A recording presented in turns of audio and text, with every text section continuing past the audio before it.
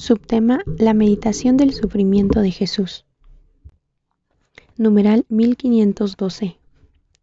Hoy, durante la Santa Misa, vi a Jesús sufriendo como si agonizara en la cruz, que me ha dicho, Hija mía, medita frecuentemente sobre mis sufrimientos que padecí por ti, y nada de lo que tú sufres por mí te parecerá grande. Me agrada más cuando contemplas mi dolorosa pasión. Une tus pequeños sufrimientos a mi dolorosa pasión para que adquieran un valor infinito ante mi majestad. Numeral 369. Antes de los ejercicios espirituales de ocho días, fui a mi director espiritual y le pedí algunas modificaciones para el tiempo de los ejercicios pero no obtuve el permiso para todo lo que había pedido, sino solamente para algunas cosas. Recibí el permiso para una hora de meditación de la pasión del Señor Jesús y para cierta humillación.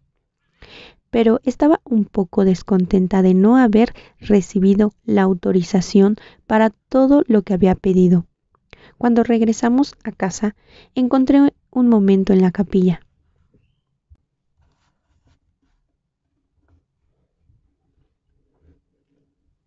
Entré un momento a la capilla. De repente escuché en el alma una voz. Una hora de meditación de mi dolorosa pasión tiene mayor mérito que un año entero de flagelaciones a sangre. La meditación de mis dolorosas llagas es de gran provecho para ti y a mí me da una gran alegría. Me extraña que no hayas renunciado todavía completamente a tu propia voluntad. Pero me alegro enormemente de que este cambio se produzca durante los ejercicios espirituales. Numeral 737. A pesar de estar enferma, decidí hacer hoy, como de costumbre, la hora santa. En esta hora vi a Jesús flagelado junto a la columna. Durante este terrible tormento, Jesús rezaba y un momento después me dijo, son pocas las almas que contemplan mi pasión con verdadero sentimiento. A las almas que meditan devotamente mi pasión les concedo el mayor número de gracias. Numeral 1184. En una ocasión anterior, por la noche vi al Señor Jesús crucificado. De las manos y de los pies y del costado goteaba la sacratísima sangre. Un momento después, Jesús me dijo, todo esto por la salvación de las almas. Reflexiona, hija mía, sobre lo que haces tú para su salvación. Contesté, Jesús, cuando miro tu pasión, no hago casi nada para salvar las almas. Y el Señor me dijo, Has de saber, hija mía, que tu cotidiano silencioso martirio en la total sumisión a mi voluntad introduce a muchas almas al cielo. Y cuando te parezca que el sufrimiento sobrepasa tus fuerzas, mira mis llagas y te elevarás por encima del desprecio y de los juicios humanos. La meditación de mi pasión te ayudará a elevarte por encima de todo. Entendí muchas cosas que antes no había logrado comprender. Numeral 267.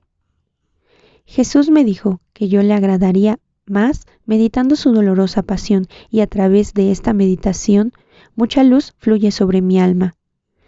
Quien quiera aprender la verdadera humildad, medite la pasión de Jesús. Cuando medito la pasión de Jesús, se me aclaran muchas cosas que antes no llegaba a comprender. Yo quiero parecerme a ti, oh Jesús, a ti crucificado, maltratado, humillado, Oh Jesús, imprime en mi alma y en mi corazón tu humildad. Te amo, Jesús, con locura. Te amo anonadado, como te describe el profeta, que por los grandes sufrimientos no lograba ver en ti el aspecto humano. En este estado te amo, Jesús, con locura. Dios eterno e inmenso, ¿qué ha hecho de ti el amor? Subtema, orar y sufrir con Jesús por los pecadores. Numeral 72. Jesús, verdad eterna, vida nuestra, te suplico e imploro tu misericordia para los pobres pecadores. Oh sacratísimo corazón, fuente de misericordia, de donde brotan los rayos de gracias inconcebibles, sobre toda la raza humana. Te pido la luz para los pobres pecadores. Oh Jesús, recuerda tu amarga pasión y no permitas que se pierdan almas redimidas con tan preciosa, santísima sangre tuya. Oh Jesús, cuando considero el alto precio de tu sangre, me regocijo en su inmensidad, porque una sola gota habría bastado para salvar a todos los pecadores. Aunque el pecado es un abismo de maldad e ingratitud, el precio pagado por nosotros jamás podrá ser igualado. Por lo tanto, haz que cada alma confíe en la pasión del Señor y que ponga su esperanza en su misericordia. Dios no le negará su misericordia a nadie. El cielo y la tierra podrán cambiar, pero jamás se agotará la misericordia de Dios. Oh, qué alegría arde en mi corazón cuando contemplo tu bondad inconcebible. Oh Jesús mío, deseo traer a todos los pecadores a tus pies para que glorifiquen tu misericordia por los siglos de los siglos. Numeral 1032 durante la Santa Misa vi al Señor Jesús clavado en la cruz entre grandes sufrimientos. Un silencioso gemido salía de su corazón. Un momento después dijo, Deseo, deseo la salvación de las almas. Ayúdame, hija mía, a salvar las almas. Une tus sufrimientos a mi pasión y ofrécelos al Padre Celestial por los pecadores. Numeral 1397. El Señor me ha dicho, la pérdida de cada alma me sumerge en una tristeza mortal. Tú siempre me consuelas cuando rezas por los pecadores. Tu oración que más me agrada es la oración por la conversión de los pecadores. Has de saber, hija mía, que esta oración es siempre escuchada. Numeral 1645. Hoy vi a Jesús doliente, que se inclinó sobre mí y dijo murmurando silenciosamente, Hija mía, ayúdame a salvar los pecadores. De súbito entró en mi alma un fuego de amor por la salvación de las almas. Cuando volví en mí, sabía cómo salvar las almas y me preparé a mayores sufrimientos. Numeral 1609. Oh Jesús mío, qué bueno es estar en la cruz, pero contigo, contigo, amor mío, mi alma está continuamente tendida en la cruz y se llena de amargura. El vinagre y la hiel rozan mis labios, pero está bien, está bien que sea así, ya que tu corazón divino, durante toda la vida, siempre bebió amargura y a cambio del amor recibiste la ingratitud. Estabas tan dolorido que de tus labios escapó esta queja dolorosa con la cual buscabas a quien te consolara y no lo encontraste. Numeral 1316. Hija mía, necesito sacrificios hechos por amor, porque solo estos tienen valor para mí. Es grande la deuda del mundo contraída conmigo. La pueden pagar las almas puras con sus sacrificios, practicando la misericordia espiritualmente. Numeral 961. Esta mañana, después de haber hecho mis ejercicios espirituales, me puse enseguida a hacer la labor de gancho.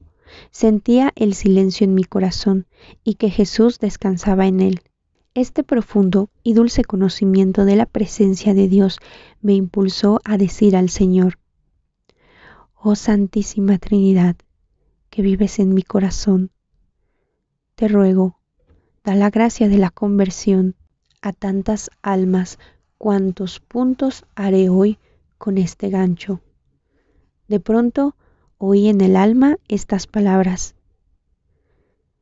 Hija mía, tus peticiones son demasiado grandes. Jesús, si para ti es más fácil dar mucho que poco, es verdad, me es tan fácil dar mucho al alma que poco pero cada conversión de un alma pecadora exige sacrificio. Y por eso, Jesús, te ofrezco este sincero trabajo mío. Este sacrificio no me parece demasiado pequeño por un número tan grande de almas, pues tú, oh Jesús, durante treinta años salvabas las almas con el trabajo manual y como la santa obediencia me prohíbe penitencias y grandes mortificaciones. Por eso te ruego, oh Señor, acepta estas pequeñeces con el sello de la obediencia como cosas grandes. Entonces oí en el alma la voz. Hija mía, entiendo tu petición.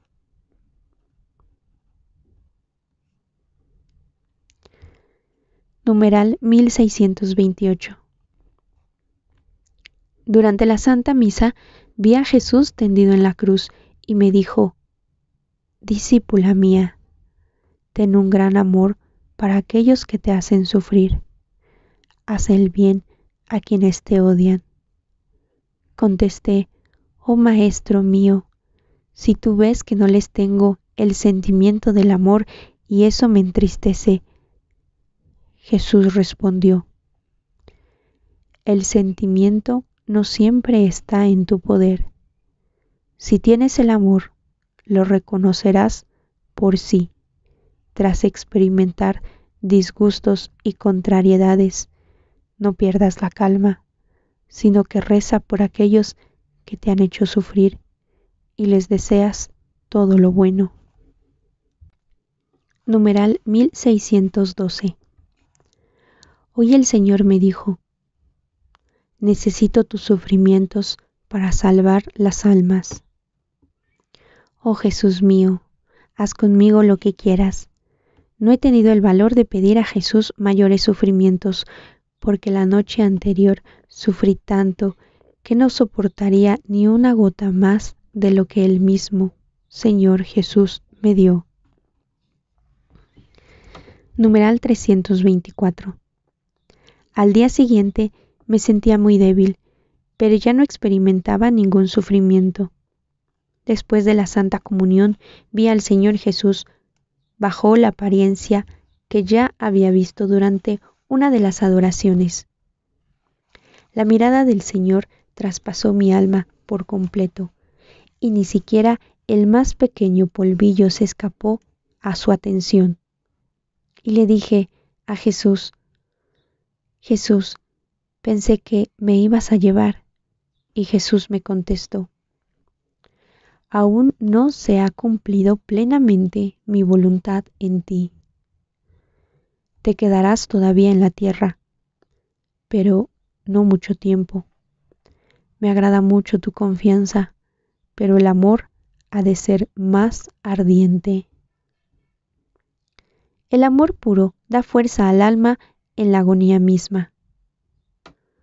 Cuando agonizaba en la cruz, no pensaba en mí, sino en los pobres pecadores, y rogaba al Padre por ellos. Quiero que también tus últimos momentos sean completamente semejantes a los míos en la cruz.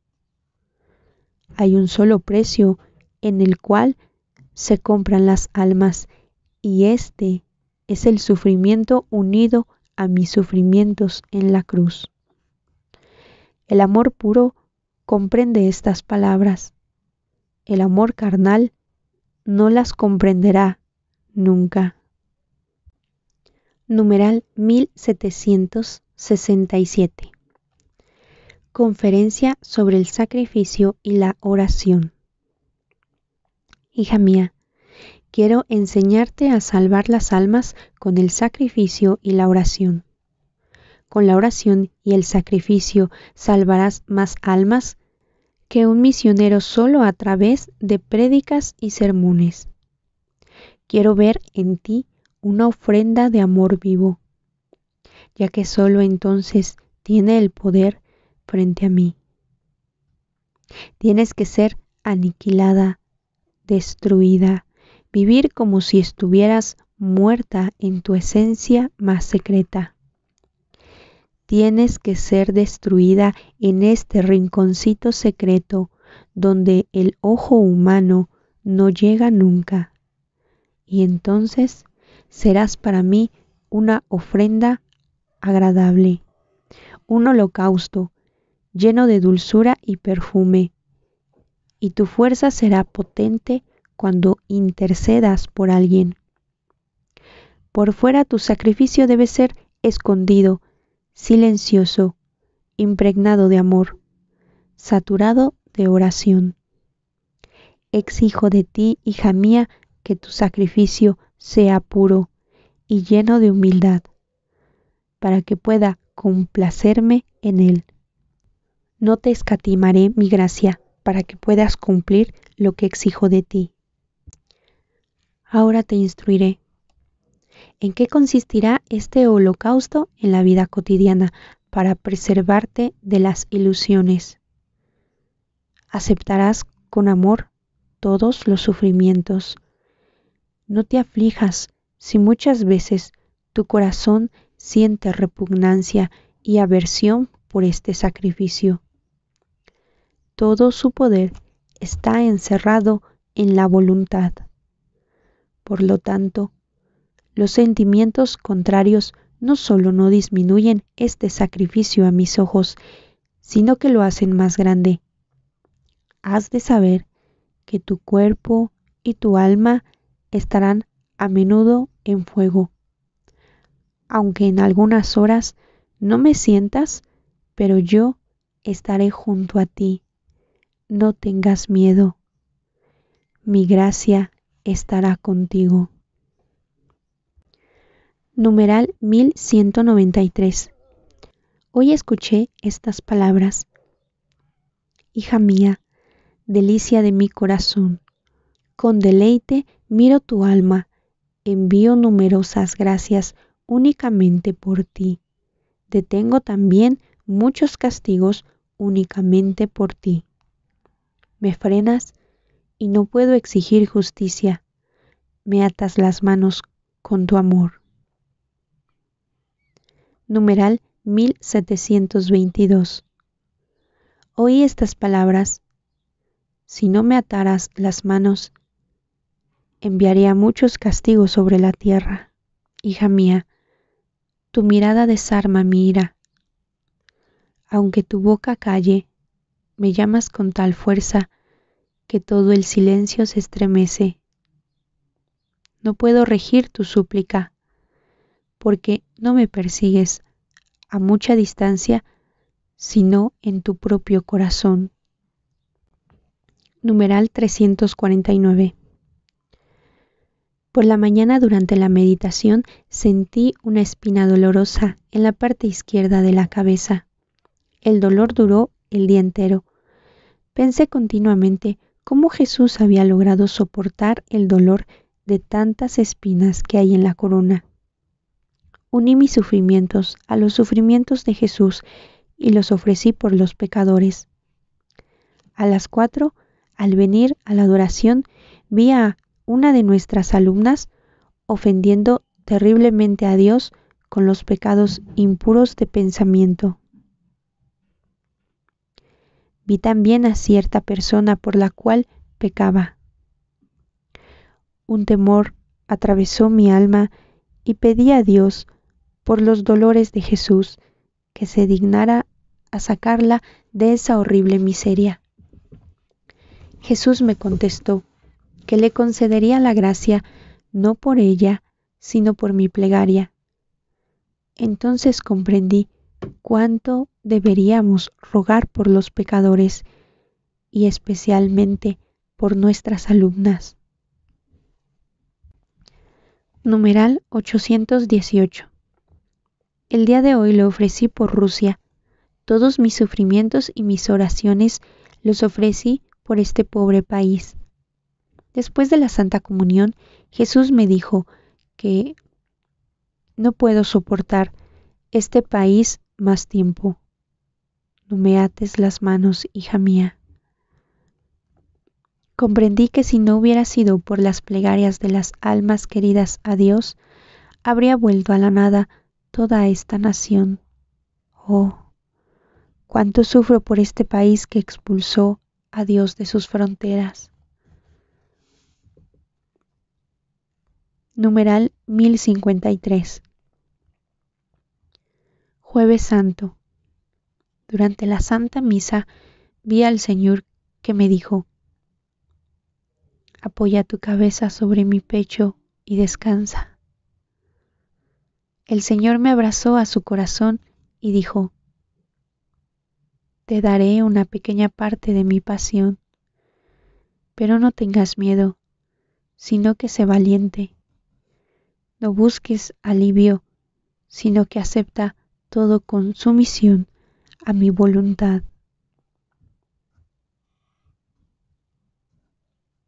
Numeral 1399.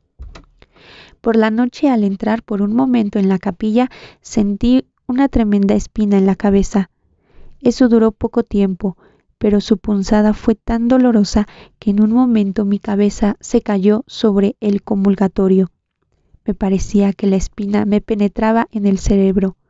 Pero eso es nada, todo para las almas, para impetrarles la misericordia de Dios.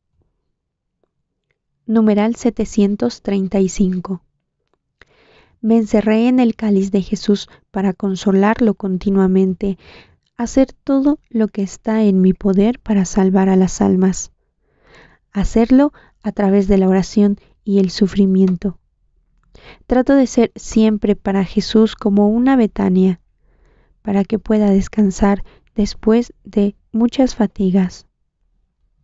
En la Santa Comunión, mi unión con Jesús es tan estrecha e indecible que aunque quisiera describirla, no sabría porque no encontraría expresiones apropiadas. Numeral 1610 mientras pedía al Señor que se dignara a mirar cierta alma que lucha sola contra muchas dificultades. En un solo instante el Señor me dijo que todos son como el polvo bajo sus pies. Pues no te aflijas, ves que por sí mismos ellos no pueden nada.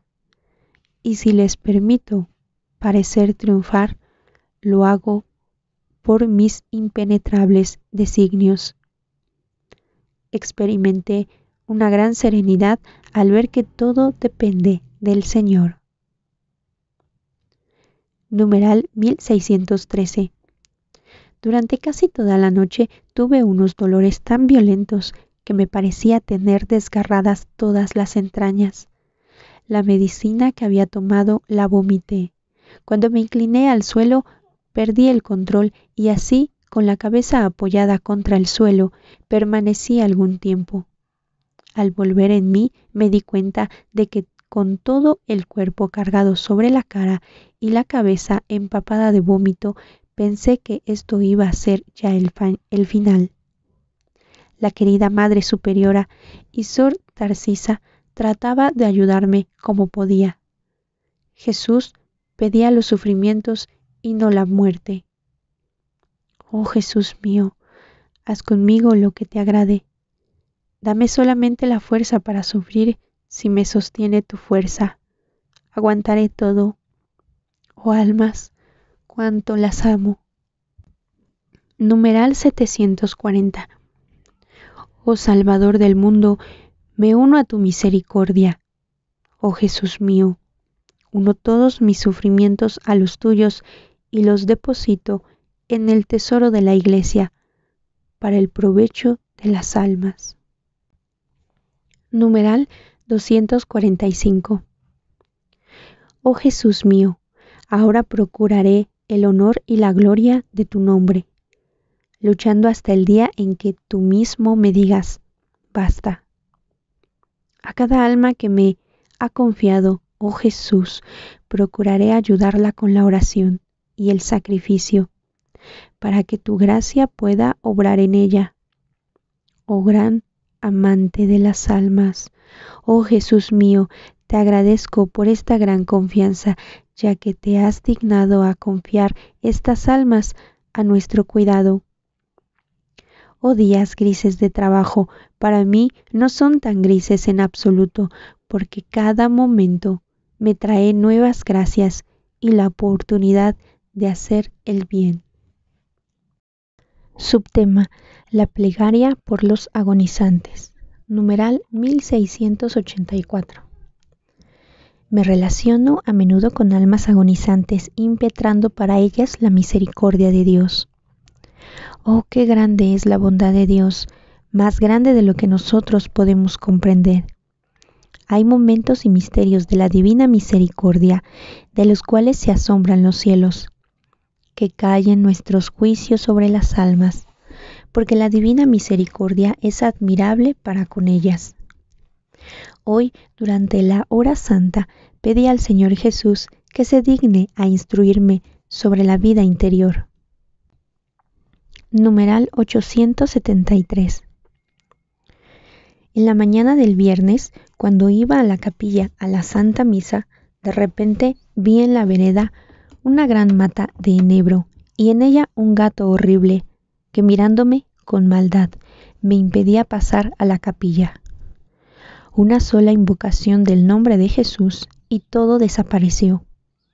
Ofrecí un día entero por los pecadores agonizantes. Durante la Santa Misa sentí de manera particular la cercanía del Señor. Después de la Santa Comunión, miré con confianza al Señor y le dije, Jesús, deseo mucho decirte una cosa. Y el Señor me miró con amor y dijo, ¿Y qué es lo que quieres decirme?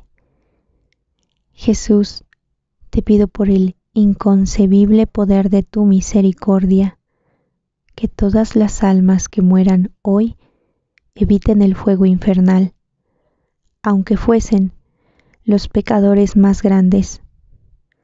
Hoy es viernes, el memorial de tu amarga agonía en la cruz como tu misericordia es inconcebible. Los ángeles no se sorprenderán. Y Jesús me abrazaba a su corazón y dijo, Hija amada, has conocido bien el abismo de mi misericordia. Haré como lo pides, pero no dejes de unirte continuamente a mi corazón agonizante y satisfaz mi justicia Debes saber que me has pedido una gran cosa, pero veo que te la ha dictado el amor puro hacia mí. Por eso satisfago tu petición. Numeral 1777. Conferencia sobre la misericordia. Has de saber, hija mía, que mi corazón es la misericordia misma de este mar de misericordia, las gracias se derraman sobre el mundo entero, Ningún alma que se haya acercado a mí se ha retirado sin consuelo. Toda miseria se hunde en mi misericordia y de este manantial brota toda gracia salvadora y santificante. Hija mía, deseo que tu corazón sea la sede de mi misericordia. Deseo que esta misericordia se derrame sobre el mundo entero a través de tu corazón. Cualquiera que se acerque a ti no puede retirarse sin confiar en esta misericordia mía que tanto deseo para las almas. Reza cuanto puedas por los agonizantes. Impetra para ellos la confianza en mi misericordia, porque son ellos los que más necesitan la confianza quienes la tienen muy poca. Has de saber que la gracia de la salvación eterna de algunas almas en el último momento dependió de tu oración. Tú conoces todo el abismo de mi misericordia. Entonces recoge de ella para ti y especialmente para los pobres pecadores antes el cielo y la tierra se vuelven a la nada, que mi misericordia deje de abrazar a un alma confiada. Numeral 1698. Acompaño frecuentemente a las almas agonizantes e impetro para ellas la confianza en la divina misericordia y suplico a Dios la magnanimidad de la gracia de Dios que siempre triunfa. La divina misericordia alcanza al pecador a veces en el último momento, de modo particular y misterioso. Por fuera parece como si todo estuviera perdido, pero no es así. El alma iluminada por un rayo de la fuerte y última gracia divina se dirige a Dios en el último momento con tanta fuerza de amor que en ese último momento obtiene de Dios el perdón de las culpas y de las penas, sin darnos por fuera alguna señal de arrepentimiento o de contrición, porque ya no reacciona a las cosas exteriores. Oh, qué insondable es la divina misericordia, pero qué horror. También hay almas que rechazan voluntaria y conscientemente esta gracia y la desprecian. Aún ya en la agonía misma, Dios misericordioso da al alma un momento de lucidez interior y si el alma quiere, tiene la posibilidad de volver a Dios. Pero a veces en las almas hay una dureza tan grande que conscientemente eligen el infierno frustran todas las oraciones que otras almas elevan a Dios por ellas e incluso los mismos esfuerzos de Dios. Numeral 820 El ángel custodio me recomendó que rezara por cierta alma y a la mañana siguiente supe que era un hombre que en aquel mismo instante había empezado a agonizar. De modo sorprendente, Jesús me da a conocer que alguien necesita mi plegaria. De manera particular, me entero cuando mi oración la necesita un alma agonizante. Ahora eso sucede más a menudo que antes. Numeral 828. Esta noche conocí que cierta alma necesitaba mi oración. Recé con ardor, pero sentía que era poco todavía, pues permanecí en la oración más tiempo. Al día siguiente conocí que precisamente en aquella hora había empezado la agonía de cierta alma y duró hasta la mañana. Conocí lo penoso que eran las luchas por las que pasó. El Señor Jesús me hace saber extrañamente que el alma agonizante necesita mi plegaria. Siento a aquella alma que me pide ayuda de modo vivo y claro no sabía que existía tal unión con las almas, y el ángel custodio me lo dice con frecuencia. Numeral 835. Especialmente ahora cuando estoy aquí, en este hospital, experimento esta íntima unión con los agonizantes, que al iniciarse la agonía me piden rezar. Dios me ha dado un contacto misterioso con los agonizantes. Como esto sucede con bastante frecuencia, he tenido la posibilidad de verificar incluso la hora. Hoy, a las once de la noche, fui despertada repentinamente y sentí claramente que junto a mí estaba un espíritu que me pedía oraciones. Simplemente una fuerza misteriosa me obligaba a rezar. Mi visión es puramente espiritual por medio de una luz repentina que en aquel momento Dios me concede.